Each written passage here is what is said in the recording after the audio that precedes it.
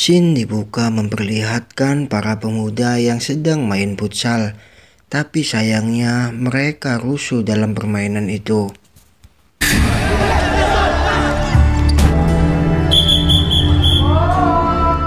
Mereka pun bentrok di luar lapangan, tapi apesnya Yudi malah menghajar polisi yang melerainya. Dan Yudi ditangkap oleh polisi, dan ini kisahnya.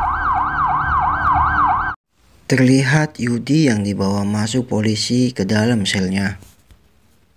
Ia kaget, ternyata di dalam sel banyak tahanan lain yang mukanya sangar-sangar Apalagi ada seorang tahanan baru yang dihajar oleh mereka.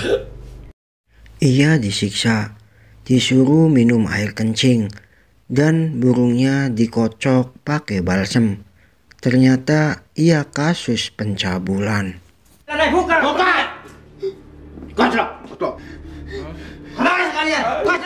Bukan hanya itu saja, ia pun dihajar kepalanya hingga tak berdaya. Giliran Yudi yang diinterogasi oleh mereka.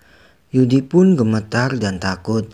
Yudi menjelaskan ke mereka bahwa ia dipenjara karena kasus memukuli polisi. Tapi malah Yudi dihargai oleh mereka. Tukang cabul itu melawan dan bergulat dengan tahanan lain. Terlihat Yudi yang sedang melamun karena sudah 15 hari ia berada di sana hingga ada warga baru yang datang ke selnya.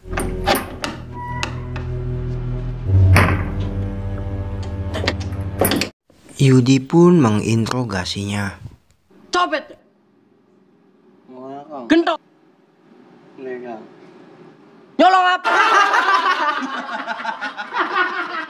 Ternyata ia kasusnya maling bebek.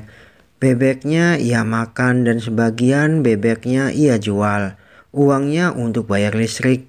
Mendengar itu seisi sel terdiam tanpa kata karena kasihan sama dia. Yudi pun terlihat murung dan ia tak mau makan karena ia sedang rindu sama orang tuanya. Ya, ya, ya, ya. Man. Kak, telang bebek. Gimana?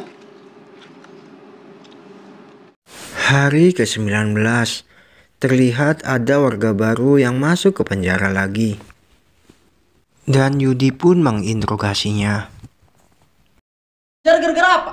Anu itu, etungan. Wah, wadik aku. Ternyata ia marbot musola dan dia dipenjara karena kasus judi. Sebut saja namanya Pak Mamat, ia sangat rajin beribadah walaupun di dalam penjara. Yudi pun teringat masa kecilnya bersama ibunya. Hari ke-23, terlihat Yudi yang sedang menghampiri Pak Mamat karena ia dari kemarin tak mau makan. Keluarga ki. Singake mana? Kenapa? Hari ke-24, terlihat para tahanan lain yang ikut sholat yang diimami Pak Mamat. Udah kok mati sholat. Bismillahirrahmanirrahim. Hari ke-26, Yudi terkejut karena Pak Mamat meninggal dunia, membuat seisi sel menjadi panik. Ini harus mati.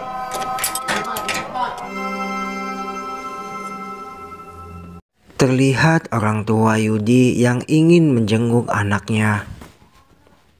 Terlihat Pak Polisi yang menunjukkan CCTV bahwa Yudi sedang sholat, membuat ibu Yudi sangat terharu.